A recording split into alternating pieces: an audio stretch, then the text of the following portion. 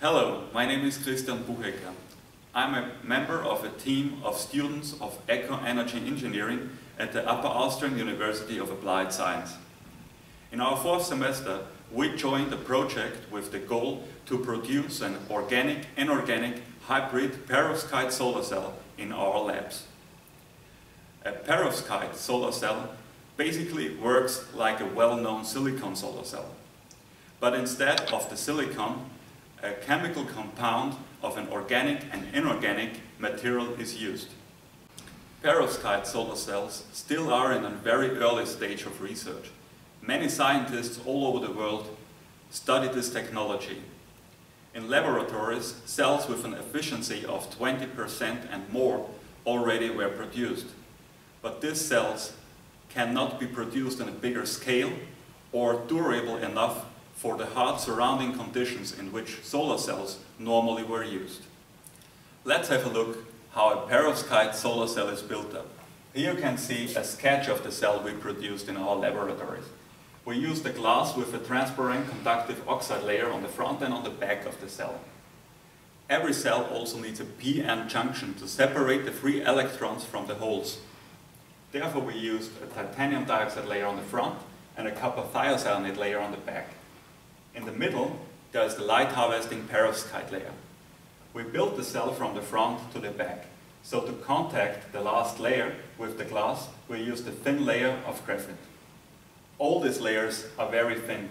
We are talking about a few hundred nanometers. So all layers together are less thin than a tenth of a millimeter. And now we will show you a few clips of the production of our cell.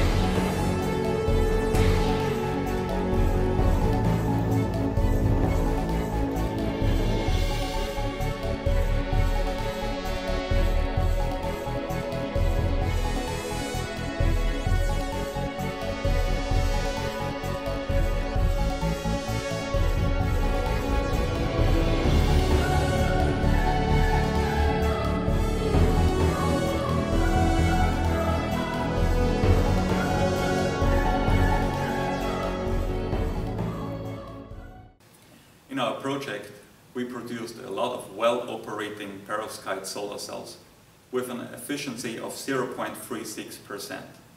And we learned a lot about this technology. When all the technical problems with perovskite solar cells can be solved, this could become a very important technology in the future because of the high efficiency and the low production costs.